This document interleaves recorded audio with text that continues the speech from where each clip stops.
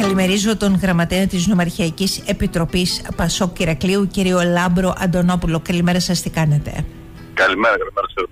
Λοιπόν, νομίζω ότι πρέπει να δώσουμε δύο οδηγίες ε, ή να πούμε δύο πράγματα και να δώσουμε δύο πληροφορίες.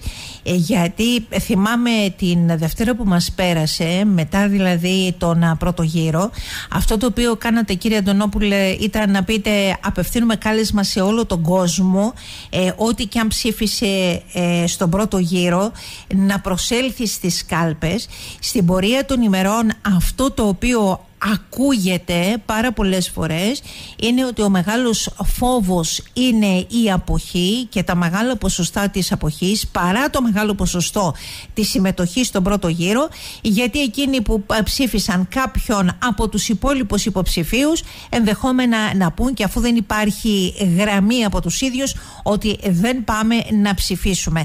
Το ζητούμενο ωστόσο είναι ότι όποιος εκλεγεί θα πρέπει να έχει μια ισχυρή πλειοψηφία.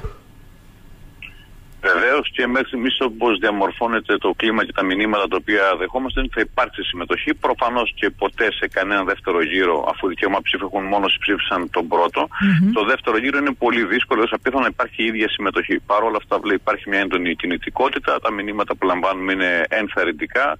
Πολλοί εκ των ψηφοφόρων και των στελεχών που και εδώ στο Εράκλειο που συνομιλούμε καθημερινά έχουν αποφασίσει ποιον υποψήφιο εκ των δύο θα επιλέξουν για τον δεύτερο γύρο και θα είναι στην, ε, στη διαδικασία της Κυριακής.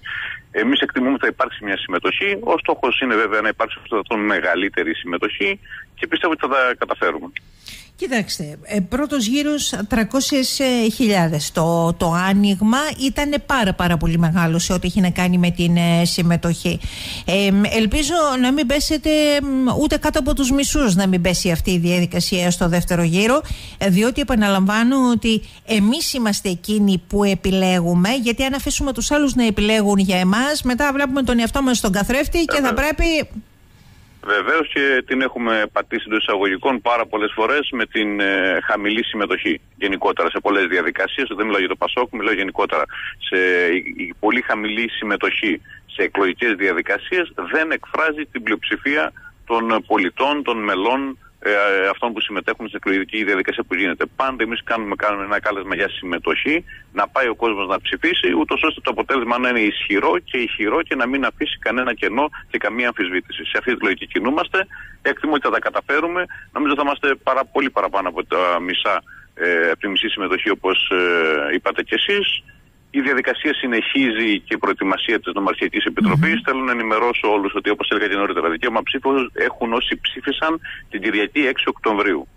Θα είναι στα ίδια εκλογικά τμήματα, στα ίδια εκλογικά κέντρα.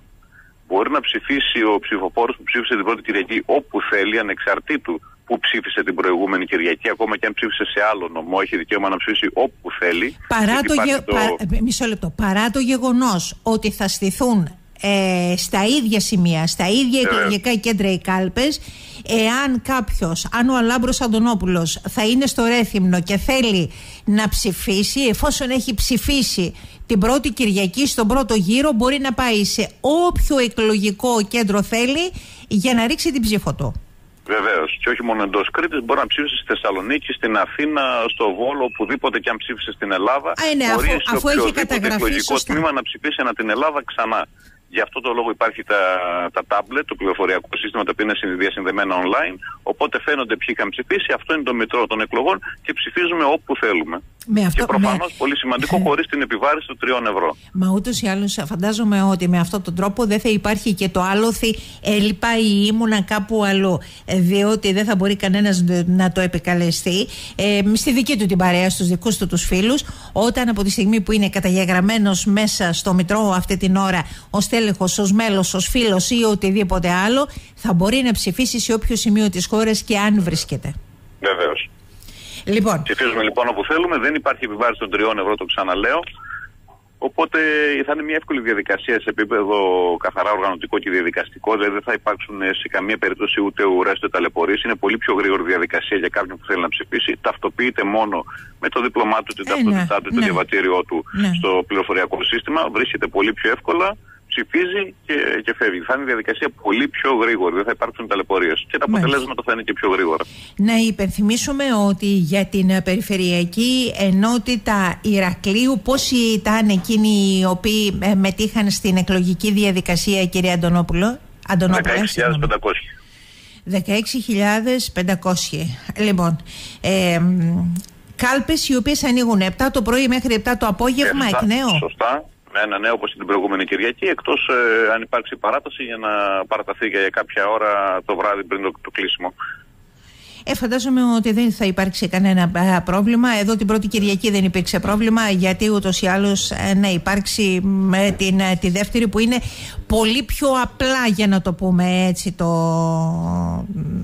Σωστά. για το καθαρά διαδικαστικό κομμάτι είναι πιο εύκολη διαδικασία, πιο γρήγορη. Ο κόσμος ήδη έχει μάθει ε, που είναι τα εκλογικά τμήματα, τα εκλογικά κέντρα, πήγε και ψήφισε ήδη την πρώτη Κυριακή. Οπότε πιστεύω ότι για όλους θα είναι πιο εύκολα και πιο γρήγορα. Μάλιστα. Ξέρετε, την α, προηγούμενη Κυριακή ήταν κάποιοι οι οποίοι επικοινωνούσαν και λέγανε πώς θα μάθω πού θα, πρά, πού θα πρέπει να πάω να ψηφίσω. Πού υπάρχουν εκλογικά κέντρα, είναι το τελευταίο που σας ρωτώ. Κάποιοι οι οποίοι δουλεύουν δεν έχουν ενημερωθεί ή οτιδήποτε άλλο. Πώς το βρίσκει κανείς εύκολα αυτό. Στο site του Πασόκ υπάρχουν αναρτημένα όλα τα εκλογικά τμήματα σε όλη την επικράτεια, επιλέγοντας την περιφερειακή ενότητα που θέλουμε και υπάρχουν και οι λεπτομέρειες για τη διεύθυνση, ακόμα και το στίγμα του GPS για το που είναι τα εκλογικά τμήματα και μπορούν να τα εντοπίσουν πολύ εύκολα και να πάνε. Και σε επίπεδο νομού Ηρακλείου υπάρχουν τα δελτία τύπου που έχουν κοινοποιηθεί από την Ομαρχιακή Επιτροπή στο site της Ομαρχιακής ε, στο Facebook. Ε, νομίζω ότι είναι εύκολο να βρούμε πού μπορούμε να ψηφίσουμε. Το πιο εύκολο και άμεσο είναι στο site του ΠΑΣΟΚ, στο μάθε που ψηφίζεις, είναι όλα τα εκλογικά τμήματα της επικράτειας. Ωραία. Σας ευχαριστώ πολύ, κύριε Αντωνόπουλε. Καλημέρα σα. Να είστε καλά. Καλή συνέχεια. Ευχαριστώ Καλημέρα. πολύ. Καλημέρα. Καλά να είστε και εσείς.